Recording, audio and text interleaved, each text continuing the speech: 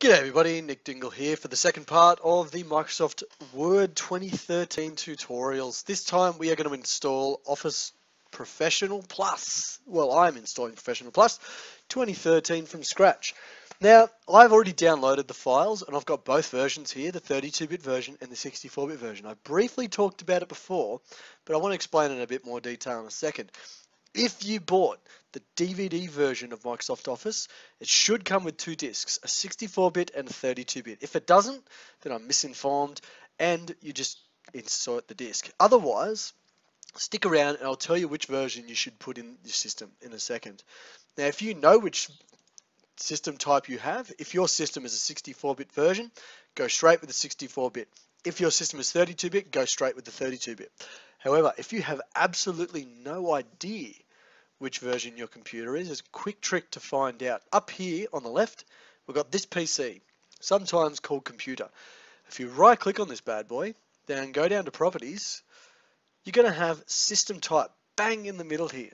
Okay, and it says 64-bit operating system. So 64-bit means I can install 64-bit version of Office.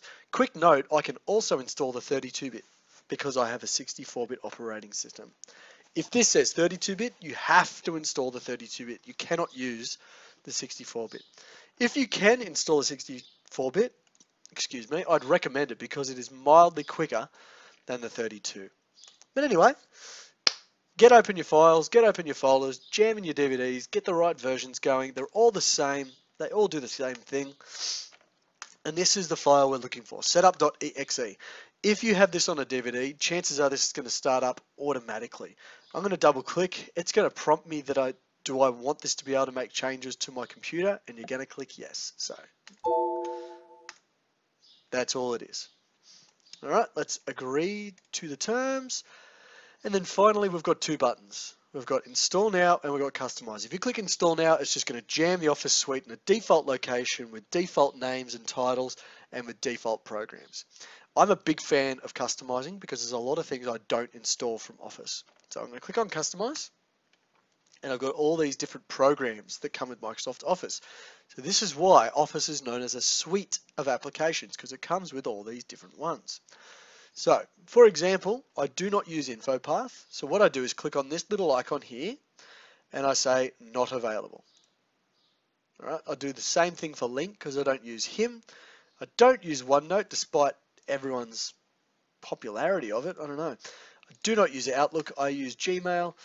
Um, I rarely use Publisher. So what I'm going to do is I'm just going to say not available. And if I want to install it, I can change it at a later date.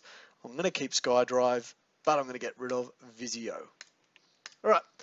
Those are the programs I want installed. These ones with the little green icon next to them. X's will not be installed. The grey ones mean there are some things which aren't installed. That's all. And we can leave them as default. You can go through these in detail. If you don't know about these programs, you can actually click on them and they'll tell you down the bottom what they actually do. And you can have a read, judge for yourself whether or not you're going to use them. But I've never used these in my life. In fact, I might install Publisher. I, I ran into an issue last year where I needed it. But anyway, that's my setup for my programs. The second thing is your file location, where you want the program files to install. If you are unsure, I want you to leave this and just go to the next tab. If you are really, really certain of where you want these files to go, you can either click browse and find the folder, or you can just type it in. Now, I know where mine's going to go. It's going to go on the D drive, and I've got a folder in my D drive called apps. So I go D colon backslash apps backslash Microsoft Office. Make sure Microsoft Office is on the end, and you're good to go. So with that done, I'm going to go to the user information and make sure this is set properly because it's not really set up the way I wanted to. My full name is Nicholas Dingle, my initials are ND, and my organization is Department of Education Training. That's perfect. With those set up, if you're ready to go, if there's no more changes you want to make, you're going to click Install Now. And you're going to watch the green bar grow across the screen until it hits the back, at which point you're done and you're ready to go. So I'll see you on the other side. G'day everybody, my installation went well, I hope yours did as well. If you did have problems, please comment down below and I'll try and give you a hand. Now I've actually just clicked the close button to close the installer because it's all done and there's nothing else you can do in it. Now, what the next thing is to actually open Microsoft Word, isn't it? For the very first time. So depending on what version of Windows you have, you're going to have to find the program. So if you're running Windows 7, you're going to be looking in the Start button. So if you click on the Start button, you're going to have a look in all programs and you're going to try and find Microsoft Office 2013. You may have to scroll down that list because it's a folder. Click on that bad boy and there you go. There's off Word, sorry, 2013.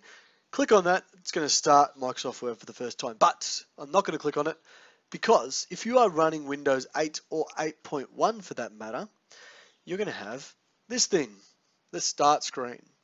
So how the heck do we find it here? Well, down the bottom, we've got eight new apps installed. This is your all apps button if you don't know. If you click on that, these are all the programs installed on your computer. If I scroll across, there is Word 2013 right there. So I'll click on him and it starts him up for the first time and we get this screen for the very first time and the last time hopefully. What this is, you have to activate Office the very first time that you use it. So if you bought this thing as a subscription service, type in the email address you used to purchase with it. All right.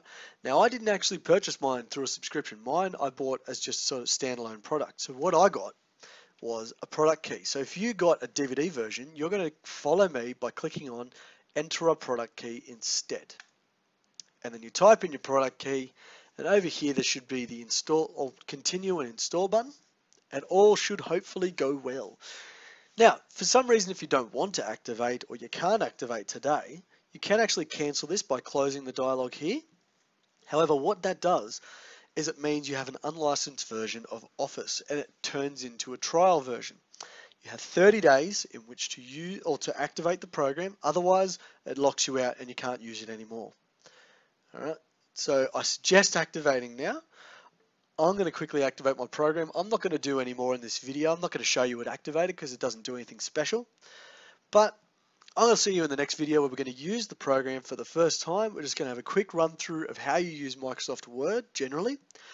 And hopefully all goes well. So see you in the next video, everybody. Like, comment, subscribe down the bottom there, everybody. Thank you for watching. See you later.